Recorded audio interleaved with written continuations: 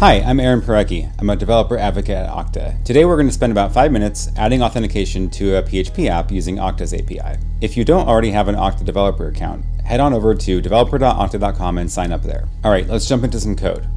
Here we've got a very small skeleton app, which has an helper method for making HTTP requests, which will handle a URL and it'll uh, make a post request if we send parameters, and then it JSON decodes the response.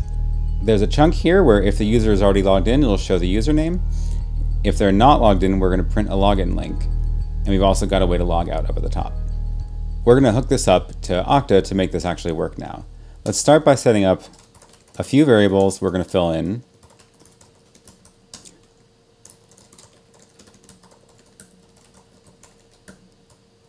And then let's head over to the Okta dashboard and make a new application.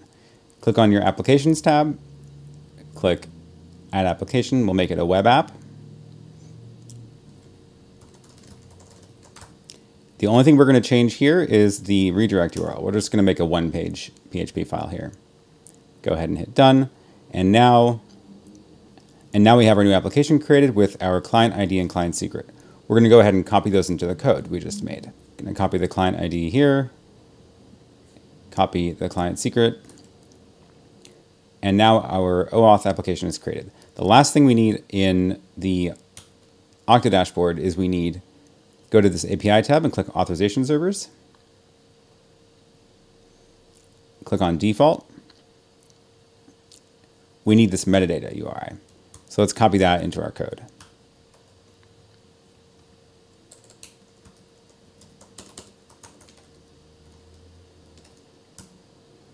All right, we're gonna, this, this has a few variables that we're gonna use later in the code and we're gonna store those parse result in metadata here.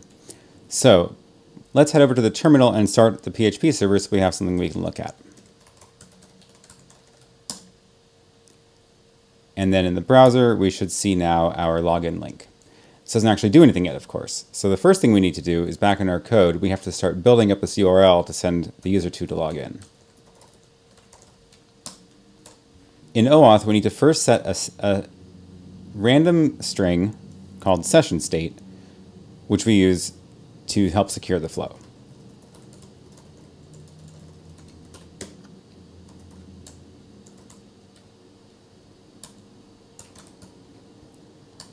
We're going to build up the authorization URL by building the authorization code request from OAuth.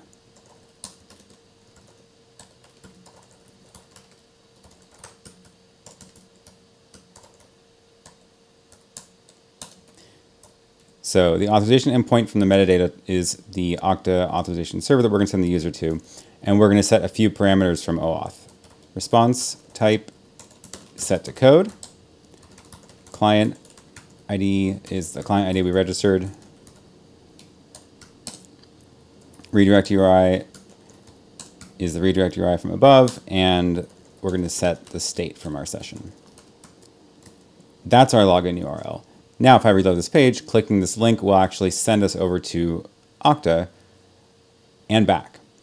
Now there's a code and, and a state in the query string after we got sent back from Okta. So we need to actually handle that request now. So back in our code, we're going to add a section above this, which says if there is a code in the query string, we're going to exchange that code for an access token. We first need to double check the state matches.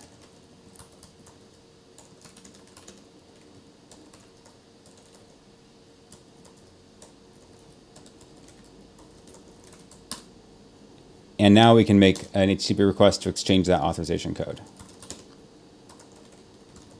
We're going to make the request to the token endpoint with the code in the request.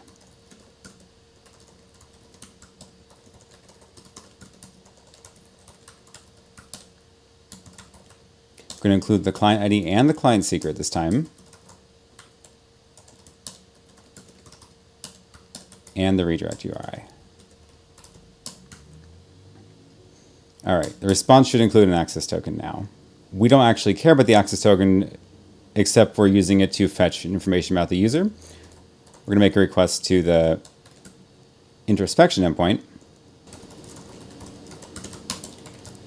And this request is going to have the client ID, the client secret, as well as the token we just received from the response to the previous request.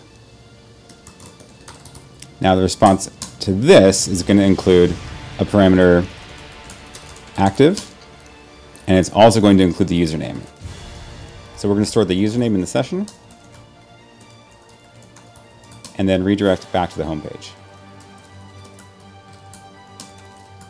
Now, back in the browser, let's click login, get redirected back with the code, and it's exchanged for an access token, which is used to fetch the user information, and now we're logged in. So that was a quick five minute version of adding authentication to a PHP app. This code is all up on GitHub. You can see the complete example here. Don't forget to sign up for a developer account on developer.okta.com so you can make your application and try this out. Thanks. I hope this has been helpful. Check out our blog, developer.okta.com, and follow us on Twitter at oktadev.